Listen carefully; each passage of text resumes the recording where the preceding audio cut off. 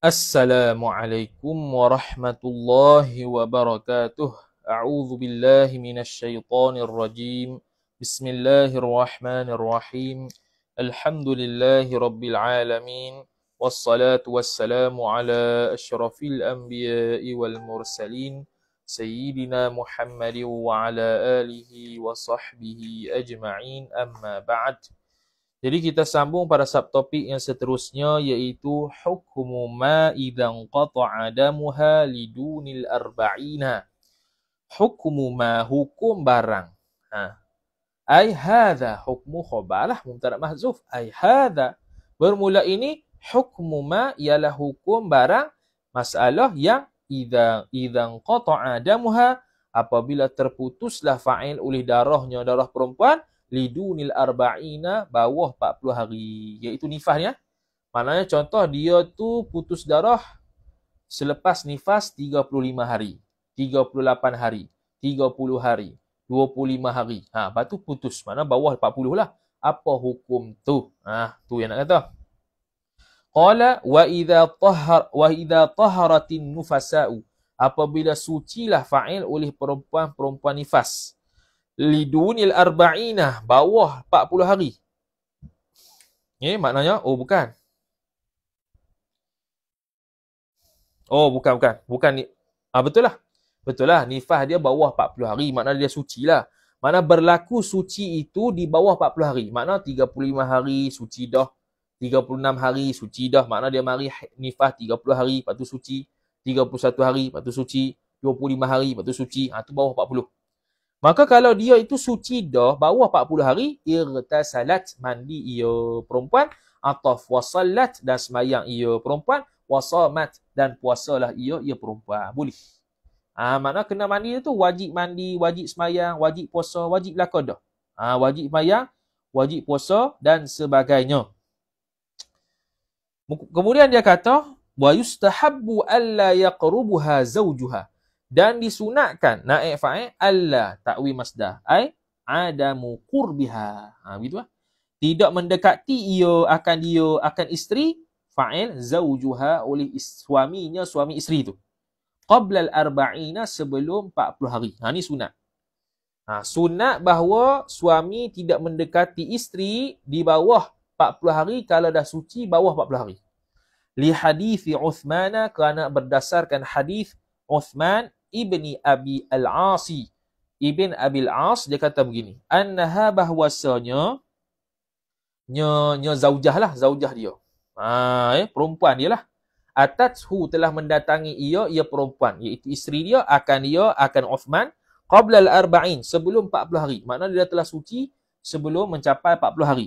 Faqala, maka berkatalah ia, ia Uthman, dia kata, La taqar, la taqrabini. Ha, la taqrabini. Jangan. Ha, dia panggil la nahilah. Jangan mendekati oleh engkau akan daku. Ha ni tu maf'ulun bih. Ha tu. Jadi la sini bukan makna haram dak mana kalau bolehnya tak payahlah dekat lagi tak payah setubuh lagi lah. Kalau suci tu bawah 40 hari. Ha mana 30 hari keluar nifas suci dah. 38 hari keluar nifas suci dah. Bawah 40 hari tu sunatnya jauh lagi tak tak perlu setubuh lagi. Ha okay? wali annahu tu illah pertama kerana ada hadis. Atau kepada di hadisi wali annahu dan kerana bahawasanya sya'an la ya'manu audud dami fi zamanil wat'i. Tidak amanlah tidak sejahteralah oleh kembali darah pada ketika waktu pada waktu bersetubuh. Fayakunu maka adalah ia. Ia zauj. Seorang seorang suami yang setubuh ketika tu tu wati'an mewati ia fi nifasin pada nifas. Ha. Jadi dia kata ketika setubuh itu tidak aman daripada kembalinya darah. Dengan makna tak selamat kalau dia tu kata tak akan keluar darah. Tak, tak selamat. Bahkan boleh jadi keluar darah semula ketika dia wati dan menyebabkan dia menjadi wat, dia wati itu ketika nifas. Ha. Maka kalau bolehnya tak payahlah bawah 40 hari itu kita setubuh lagi jangan. Atas tu tak apa. Kerana tidak aman daripada kembalinya darah. Dengan makna dikhawatiri kembalinya darah apabila bersetubuh. Bila bersetubuh ketika ada darah ketika itu, maka dia setubuh dalam keadaan bernifas. Dalam keadaan sedang bernifas, hukum dia haram. Ha, gitu. Ha, itu tapi itu tu wahwa dan bermula dia di hadzal qaul madhhabul imami Ahmad ibni Hambalin. Ialah madhab Imam Ahmad bin Hanbal. Bukan madhab Syafi'i ni yang suruh tunggu-tunggu ni. Wa inda jumhuril fuqaha'i dan menurut jumhur fuqaha iaitu selain madhab Hanbali. Itu madhab Hanafi, madhab Maliki, madhab Syafi'i. Lawin qata'a damun nifasi. Jikalau terputuslah fa'il oleh darah nifas. Qabla bulughil ghayati sebelum sampai penghujungnya. Penghujung sini 40 hari ke 60 hari ke lah. atas pandangan mazhab masing-masing lah. Kalau mazhab syafi'i 60 hari. Maka jaza jawab bagi lau jaza wat'uha wat'ul mar'ah. Haruslah fa'il oleh mewati akan dia akan isteri idhafat masdar kepada maf'ul. Ha, eh, haruslah tak ada masalah. Tak payah tunggu-tunggu. Kama tajuzus salah. Kiasnya seperti mana haruslah fa'il oleh semayang wa ghairuha wa ghairus salati dan selainnya selain daripada sembahyang. Wala karahata fihi dan tidak ada sama sekali makruh. Ha, la karahata karahata isim la linafil jinsi. Tidak ada sama sekali jenis makruh fihi ay sabitun. Sabi ia fihi padanya ay fi waqtil naqa pada ketika ataupun fi waqtin qita'id dam. Pada waktu terputusnya darah. Tidak ada tidak ada makruh sama sekali wati ketika itu. Li'annaha kerana bahawasanya nyamar'ah itu fi ay sabitun. Khabar li'anna. Sabitun. Sabit ia fi hukmi tahirati pada hukum perempuan-perempuan yang suci.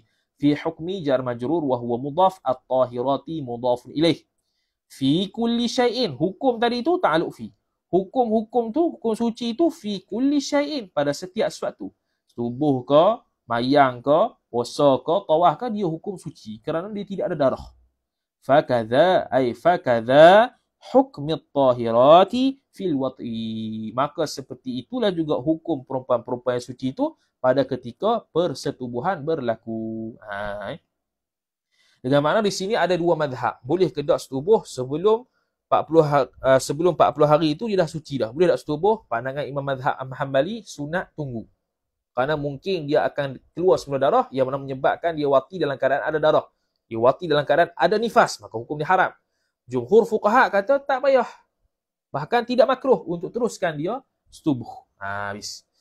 Wala farqa, farqa uh, isim la dinafil jinsi. Ay wala farqa thabitun. Dan tidak sama tidak ada sama sekali jenis farq, jenis perbezaan. Baina ayyang qati'ad damu. Antara bahawa ayyang qati'ad takwil masdar lah. Ha, eh. Baina ayyang qati'ad antara bahawa terputuslah fa'il oleh darah aqibal wiladati selepas beranak au ba'da ayyamin ataupun selepas beberapa hari falizauji alwat'u maka bagi suami itu boleh setubuh alwat'u mubtada muakhar lizauji ta'alluq satu mahzuf khabar muqaddam ha eh? jadi tidak ada beza terputus darah selepas beranak boleh setubuh dah suami ni sebuah hukum eh? bukan ni sebuah bagus ke tak ataupun selepas beberapa hari keluar darah kemudian berhenti boleh juga setubuh kerana zahirnya suci Wallahu a'lam. Bermula Allah Ta'ala itulah yang maha mengetahui. Wallahu a'lam.